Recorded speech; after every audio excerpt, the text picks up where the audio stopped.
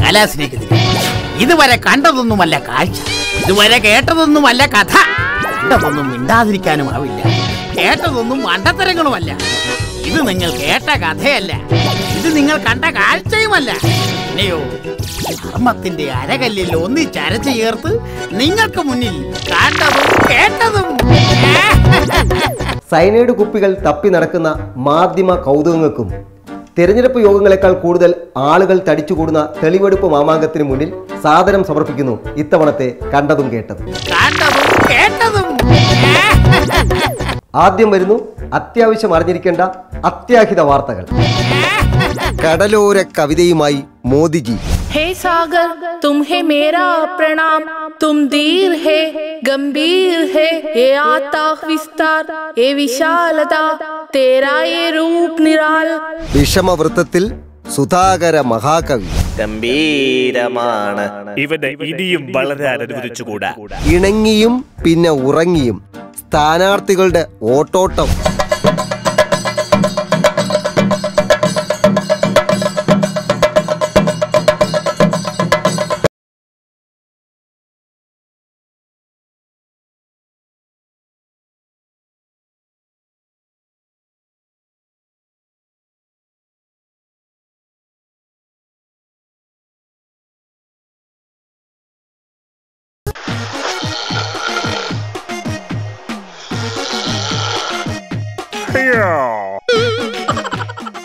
മിന്നൽ പിണറായി പ്രസംഗവേദിയിൽ വെല്ലുവിളിയുമായി മുല്ലപ്പള്ളിയും ചെന്നിത്തലയും ഹിന്ദുവിന്റെ അട്ടിപ്പേർ അവകാശം തന്റെ കക്ഷത്ത് ആരെങ്കിലും ഏൽപ്പിച്ചു തന്നിട്ടുണ്ട് ശുദ്ധമായ രാഷ്ട്രീയം സംസാരിക്കാൻ മുഖ്യമന്ത്രിക്ക് തന്റെ ഇടമുണ്ടോ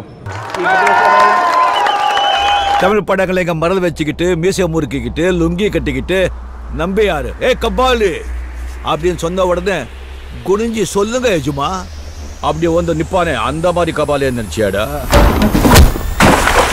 கபாலிடா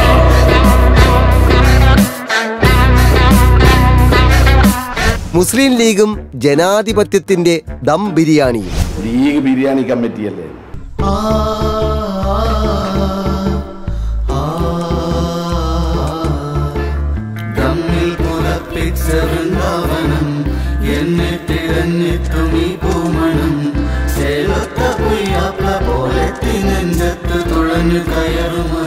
ഒരു കാര്യം എല്ലാവരും ഇവിടെ നിന്ന് തന്നെ കഴിക്കണം. സ്വച്ഛ സുന്ദരമായ കടൽത്തീരത്തു കൂടി സ്വച്ഛ ഭാരതത്തെക്കുറിച്ച് ചിന്തിച്ചു നടക്കുമ്പോൾ ആരുടെ മനസ്സിലായാലും കവിതയുടെ താമരപ്പൂക്കൾ വിടരും. ചെന്നൈയിൽ മഹാബലിപുരത്തെ പ്രശാന്ത സുന്ദരമായ സാഗര തീരത്തുകൂടി നടക്കുമ്പോൾ നമ്മുടെ പ്രധാനമന്ത്രി നരേന്ദ്രമോദിജിയുടെ മനസ്സിലും കവിത വിരിഞ്ഞു വന്നു. हे सागर तुम्हें मेरा प्रणाम। तुम दीर है, गंभीर है। जग को जीवन देता, नीला है नीर तेरा। ये आता विस्तार, ये विशालता, तेरा ये रूप निराल। हे सागर तुम्हें मेरा प्रणाम। മഹാബലിപുരത്തു നിന്ന് വളരെ അകലെ അമ്പലപ്പുഴയിൽ. മഹാകവി ജി സുധാകരൻ സാറിന്റെ മനസ്സിലോ വല്ലാത്തൊരു വൈഷമ്യം. ഹേ സമുദ്രമേ നിനക്കെന്റെ പ്രണാമം. നീ ശാന്തമാണ് ഗംഭീരമാണ്. ഇവന്റെ ഇനിയും വളരെ അനുവദിച്ചുകൂടാ. എതിർപ്പ് എനിക്കൊരു വെല്ലുവിളിയാണെന്നുള്ള കാര്യം നിങ്ങൾക്കും അറിയാമല്ലോ. ലോകത്തിനു ജീവനേകുന്നു നീലിമയാർന്ന നിന്റെ ജലം. നിന്റെ അഗാധമായ വിസ്താരം വിശാലത നിന്റെ ഈ രൂപം അതുല്യമാണ്. ഹേ സമുദ്രമേ നിനക്കെന്റെ പ്രണാമം. സ്റ്റാർട്ട് ആക്ഷൻ കട്ട് ഇതാരാ? യുദ്ധഭൂമിയിൽ ഒരു പുതിയ ആരാണ് നിങ്ങൾ? ചിരിപ്പിക്കാതെ കൊച്ചു മുതലാളി? ഈ ചപ്പും ചവറും മാറാനല്ലേ? അതെ ചപ്പും ചവറും മാറാൻ തന്നെയാ. എന്താ ഇത്ര വലിയ പുച്ഛം?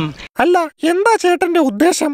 നല്ല നിലാവുള്ള രാത്രികളിൽ ഈ കടപ്പുറത്തൊക്കെ പാടി പാടി നടക്കും.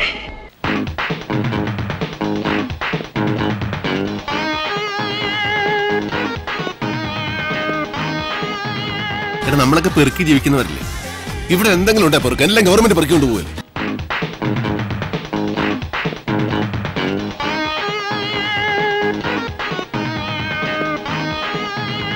Carry on, my bye. Thank you.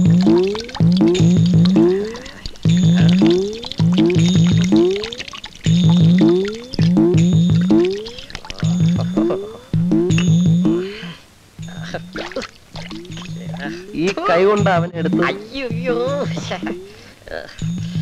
തെരഞ്ഞെടുപ്പ് പ്രഖ്യാപിച്ചു കഴിഞ്ഞാൽ ജനങ്ങളുടെ മുന്നിൽ പതിവ് കാഴ്ചയാണ് വെളുക്ക ചിരിച്ചുകൊണ്ട് കൈകൂപ്പി വരുന്ന സ്ഥാനാർത്ഥികൾ. ഇത്തരത്തിൽ നിരവധി റോഡ് ഷോകൾ കണ്ട് മനസ്സുമടുത്തിരിക്കുന്ന പ്രേക്ഷകരുടെ മുന്നിലേക്ക് ഇതാ ഉപതെരഞ്ഞെടുപ്പിനിടയിലെ ചില കൗതുക കാഴ്ച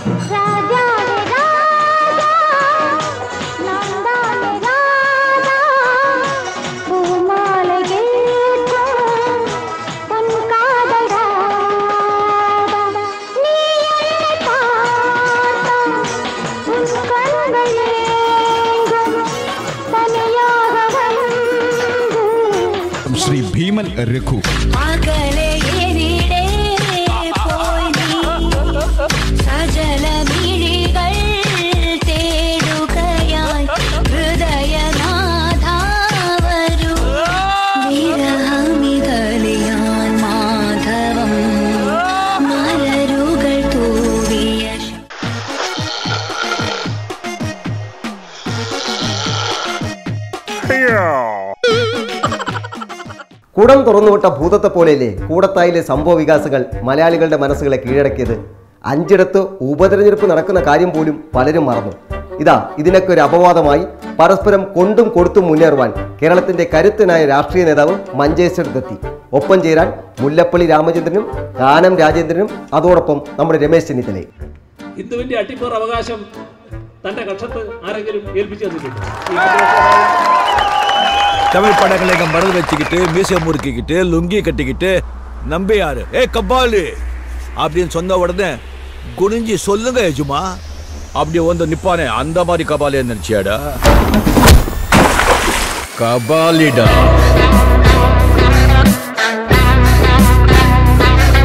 അടയങ്കപ്പ ഇത് താൻ സൂപ്പർ ഡയലോഗ് തമിഴ് സിനിമകളിലൊക്കെ നമ്മുടെ സൂപ്പർ സ്റ്റാർ രജനി അണ്ണൻ സൊൽക്കറ മാതിരി ഇത്തരമൊരു ഡയലോഗിന് വേണ്ടിയാണ് കേരള രാഷ്ട്രീയം ഇതുവരെ കാത്തിരുന്നത്.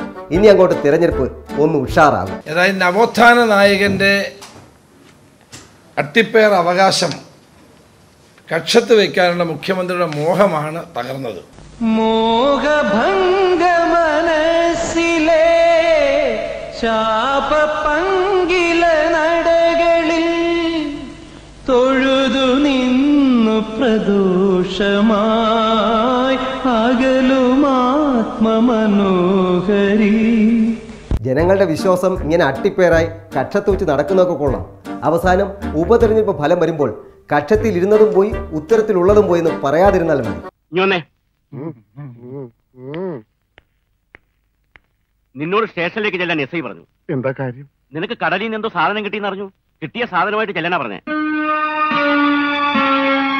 ഇതാണ് കിട്ടിയ സാധനം.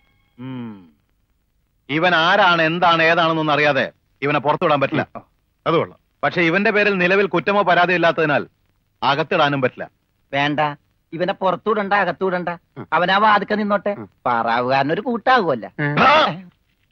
ഇവനെ തൽക്കാലം നിന്റെ കൂടെ വിടുന്നു. എപ്പോ ഞാൻ വിളിച്ചാലും ഇവനെ സ്റ്റേഷനിൽ കൊണ്ടുവരണം. അപ്പോ ഇതിന്റെ ചെലവ്? ചെലവൊന്നും വേണ്ട. ഇതെന്റെ ഒരു ഔദാര്യമായി കൂട്ടിയാൽ മതി. നിങ്ങളുടെ ഇടയിലുണ്ടായ ആൾ ഇവിടെ നടന്ന് ശീലിച്ചയാൾ ഇവിടെ പഠിപ്പിച്ച് നടന്നയാൾ ഇവിടെ അതിന്റെ ഭാഗമായി ഹെഡ് മാസ്റ്ററായി പ്രവർത്തിച്ചയാൾ കൂട്ടത്തിൽ വിശ്വാസി എന്ന നിലക്കുള്ള ചില കാര്യങ്ങളും നിങ്ങളുടെ എല്ലാം കൂടെ നിന്നുകൊണ്ട് ചെയ്തിട്ടുണ്ടാവും. അത് സ്വാഭാവികം. എല്ലാവർക്കും അറിയാലോ അദ്ദേഹത്തെ. ആർക്കറിയാത്തത്? സ്ഥാനാർത്ഥി വിശ്വാസിയായതാണ് പ്രശ്നം. അതിന് എന്റെ തലയിൽ കയറേണ്ട യാതൊരു കാര്യവുമില്ല. അത് ശരിയാ കേട്ടോ. ചെന്നിത്തലയിൽ ഒരു തലയുണ്ടെന്ന് കരുതി എല്ലാവരും ആ തലയിൽ കയറി ചവിട്ടാൻ ക്യൂ നിന്നാലോ? കപട ഹിന്ദു എന്നല്ലേ പറഞ്ഞത്? ഇപ്പൊ പ്രതിപക്ഷ നേതാവ് ആ സ്ഥാനത്തിന് ചേർന്ന ഒരു പദമാണോ ഈ സ്ഥാനാർത്ഥിയെ കുറിച്ച് പറഞ്ഞത്? കൊല്ലത്ത് നമ്മുടെ എതിർ സ്ഥാനാർത്ഥിയായിരുന്ന എൻ കെ പ്രേമചന്ദ്രനെതിരെ പണ്ട് താങ്കൾ പ്രയോഗിച്ച പരമപൂജനീയമായ ആ പദപ്രയോഗമുണ്ടല്ലോ. അതിനോളം വരുമോ പ്രതിപക്ഷ നേതാവിന്റെ ഈ പ്രയോഗം? ഇവിടെ ശങ്കർ റയ്യെ പോലെ ഒരാൾ ഹിന്ദു അല്ല എന്നും കപട ഹിന്ദുവാണെന്നും പറയാനുള്ള അല്പത്വം എങ്ങനെയാണ് വന്നത്? ഏതായാലും അദ്ദേഹത്തിന്റെ ആ സ്ഥാനത്തിരുന്നുകൊണ്ട് അത്തരം പ്രസ്താവനകൾ നടത്തിയത് തികച്ചും ദൗർഭാഗ്യകരമായി പോയി. ഈ മഞ്ചേശ്വരത്തെ സാധുക്കളുടെ മുമ്പിൽ വന്നിട്ട് അവിടെയും ഞാൻ ഇങ്ങനെ തന്നെയാണ് എന്നൊരു രീതി കാണിക്കേണ്ടതുണ്ടായിരുന്നോ എന്നാണ് പ്രതിപക്ഷ നേതാവിനോട് ചോദിക്കാനുള്ളത്. എന്നെ അങ്ങനെ പഠിപ്പിക്കണ്ട. എനിക്ക് എനിക്ക് അദ്ദേഹത്തെക്കാൾ നല്ല വിവരമുണ്ട് എനിക്ക്. ഏതായാലും നാട്ടുകാരെ മുഴുവൻ വിവരം പഠിപ്പിക്കാൻ ഒരാൾ ഇറങ്ങിയിട്ടുണ്ടല്ലോ. അല്ലെങ്കിലും ചിലപ്പോഴൊക്കെ കൊച്ചു കുട്ടികളുടെ സ്വഭാവമാണ് നമ്മുടെ പ്രതിപക്ഷ നേതാവിന്. ശങ്കർ റൈ എന്ന ഈ സ്ഥാനാർത്ഥി ഞങ്ങൾ എവിടുന്നെങ്കിലും തേടി പിടിച്ച് കൊണ്ടുവന്നിങ്ങനെ നൂലിലൂടെ കെട്ടിത്താഴ്ത്തി ഇറക്കിയ ഒരാളല്ല? ചെന്നിത്തല നേതാവിനെ കുറിച്ച് നമ്മുടെ കാനം രാജേന്ദ്രൻ പറയുന്നതും ഇതേ നൂലിൽ കെട്ടിയുള്ള അതേ ഡയലോഗല്ലേ എന്നൊരു സംശയം. രമേശ് ചെന്നിത്തല ഇന്നത്തെ പോലെ നൂലിൽ കെട്ടിയിറങ്ങിയ ഒരു ഒന്ന് ഒരു കാലമല്ല. ഈ കേരളത്തിനുള്ളത് എന്ന് എല്ലാവർക്കും അറിയാം. പക്ഷേ മൂലി ജപിച്ച് അരയിൽ കെട്ടുന്ന വിപ്ലവ വിശ്വാസിയ ശങ്കറായി സ്വാമി എന്ന മഞ്ചേശ്വരൻകാർ പറയുന്നത്. ആ വിശ്വാസികളെ പ്രതിനിധീകരിച്ചുകൊണ്ട് ഒരു പ്രത്യക്ഷത്തിൽ വിശ്വാസി ആയിട്ടുള്ള ഒരാൾ പോകുന്നതിൽ എന്താ തെറ്റ്? ഏയ് ഒരു തെറ്റുമില്ല. ഒരു നല്ല കാര്യത്തിന് പോകുന്ന വഴിക്ക് നമ്മുടെ വിപ്ലവ വിശ്വാസിയായ ശങ്കറൈ സ്വാമിക്ക് ഒരു വെടി വഴിപാട് കൂടെ നടത്തിയാൽ ഗംഭീരമായേനെ. ശത്രുദോഷം പെട്ടെന്ന് തീരാനുള്ള വെടി വഴിപാട്. വലിയ വെടി നാല് ചെറിയ വെടി നാല്. കൃഷ്ണവിലാസം ബഹിർദമില്ല വലിയ വെടി ചെറിയ വെടി. വെടി വഴിപാടാണല്ലേ? കൃഷ്ണവിലാസം. മൈക്കിൽ കൂടെ വിളിച്ചു പറയാതെ വെടി വഴിപാട് നടത്താൻ പറ്റുമോ? വിളിച്ചു പറയാതിരുന്ന ഫലം കുറയും. ഫലം ഇത്തിരി കുറഞ്ഞാലും വേണ്ടില്ല. വിളി വേണ്ട. അതിപ്പോ ഓരോ കീഴ്വഴക്കങ്ങളാവുമ്പോ. ആ വാരെ. പിള്ളാച്ചന് ശത്രുദോഷത്തിനുള്ള വെടി വഴിപാട്. മൈക്കിലൂടെ വിളിച്ചു പറയാതിരിക്കാൻ പറ്റുമെന്നാ ചോദിക്കണേ. പിള്ളേച്ചനാണോ? വെടി വഴിപാടാവുമ്പോ സാധാരണ വിളിച്ചു പറയല പതിവ്. കൃഷ്ണനമ്പൂരി വെടി വഴിപാടാവുമ്പോ വിളിച്ചു പറഞ്ഞോളൂ. കൃഷ്ണവിലാസം ഭഗീരഥൻ പിള്ള വലിയ വെടിനാലേ ചെറിയ വെടി നാല് മഞ്ചേശ്വരം തുടങ്ങി വട്ടിയൂർക്കാവ് വരെയുള്ള അഞ്ച് ഇടതുപക്ഷ മുന്നണി സ്ഥാനാർത്ഥികളുടെയും ഈ കാര്യത്തിലുള്ള ഏകീകരിച്ച അഭിപ്രായം പറയാൻ വേണ്ടി പാർട്ടിക്ക് സാധിക്കുമോ? ഇല്ല. അഞ്ചു പേരും അഞ്ചിടത്ത് അഞ്ച് ഭാഷയിലാണ് ശബരിമല പ്രശ്നത്തെ വിശകലനം ചെയ്യും വ്യാഖ്യാനിച്ചുകൊണ്ട് സംസാരിക്കുകയും ചെയ്ത്. എൽ ഡി എഫ് സർക്കാർ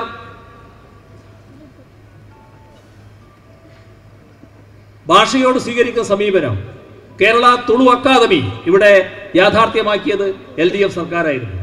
കണ്ട കാഴ്ചകളും കേട്ട കഥകളും ഇവിടെ അവസാനിക്കുന്നില്ല. ചെറിയൊരു ഇടവേളയിലേക്ക്. ഇത് കേട്ടല്ലോ മുല്ലപ്പള്ളി. വടകര കളരിയിൽ രാഷ്ട്രീയം അഭ്യസിച്ചാൽ മാത്രം പോരാ. നമ്മുടെ ഉണ്ണിത്താൻ ചേട്ടനൊപ്പം കാസർഗോഡ് പോയി തുളുനാടൻ കളരിയിലും പുതിയ മുറകൾ അഭ്യസിക്കണം. എന്നാലേ പിടിച്ചു നിൽക്കാൻ പറ്റൂ. ഇപ്പൊ ഇവിടെ ഞങ്ങളെ ഈ പരിപാടിയിൽ തടിച്ചുകൂടിയിട്ടുള്ള ഈ ജനാവലി. ഈ ജനാവലിയിൽ മഹാഭൂരിപക്ഷം മഹാമഹാ എന്ന് പറയാ വേണമെങ്കിൽ ആ മഹാഭൂരിപക്ഷം വിശ്വാസികളല്ലേ? മുഖ്യമന്ത്രി രാഷ്ട്രീയം സംസാരിക്കില്ല. ശുദ്ധമായ രാഷ്ട്രീയം സംസാരിക്കാൻ മുഖ്യമന്ത്രിക്ക് തന്റെ ഇടമുണ്ടോ ഈ പറയുന്ന പ്രതിപക്ഷ നേതാവിനും കെ പി സി സി പ്രസിഡന്റിനും ബി ജെ പിയുടെ ഇവിടുത്തെ ജില്ലാ പ്രസിഡന്റിനും ഒക്കെ ഉണ്ടാകുന്ന വേവലാതി എന്താണ്?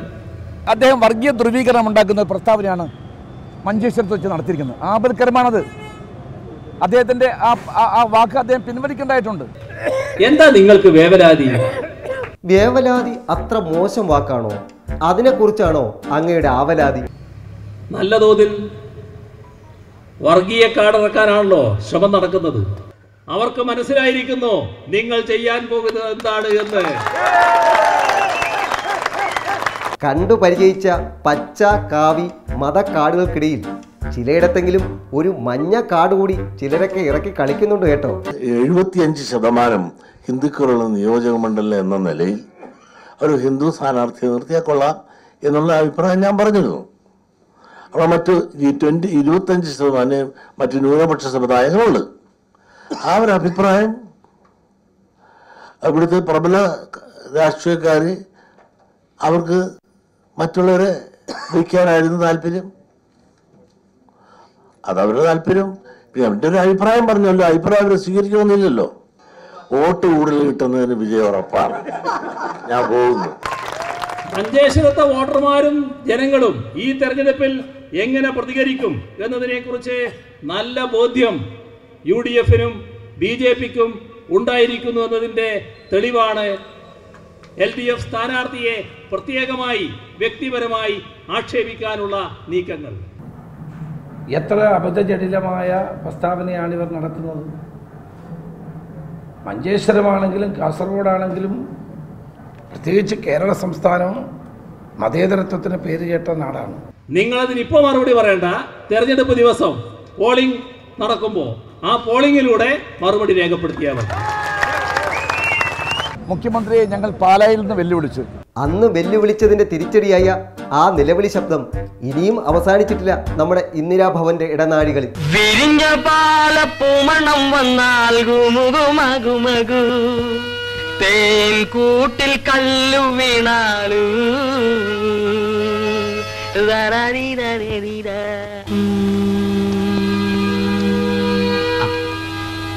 ഓട്ടപാത്രത്തിൽ ഞണ്ടു വീണാൽ ലൊടലൊടലൊടല്ല? മഴ പെയ്തു വെള്ളം വീണാൽ ജല ജല ജല ജ. നല്ല മൂടല്ലേ?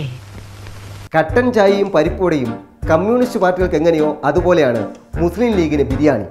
മുസ്ലിം ലീഗിന്റെ ബിരിയാണിയെക്കുറിച്ച് ഒരു ജനാധിപത്യ പരിവേഷം കൂടി നൽകുകയാണ് സി പി ഐ എം നേതാവ് ശ്രീ എം വി ജയരാജന്മാർ ലീഗ് ബിരിയാണി കമ്മിറ്റിയല്ലേ? മുത്തലാഖ് നിയമം അവിടെ വന്നപ്പോൾ ബിരിയാണി കഴിക്കാൻ പോകുന്നവർക്ക് ജനാധിപത്യപരമായിട്ടാ ബിരിയാണി കഴിക്കൽ. അതവരെ ഒന്ന് പറഞ്ഞതാ. റെഡിയല്ലേ? പിന്നെ ഓടിച്ചോ. തമ്മിൽ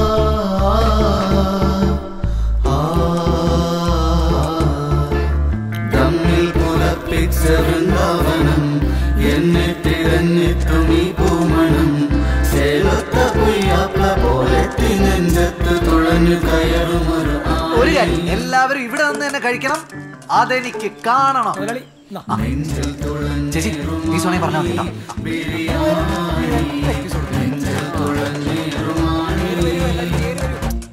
ദമ്മ് തീരെ ശരിയായില്ല.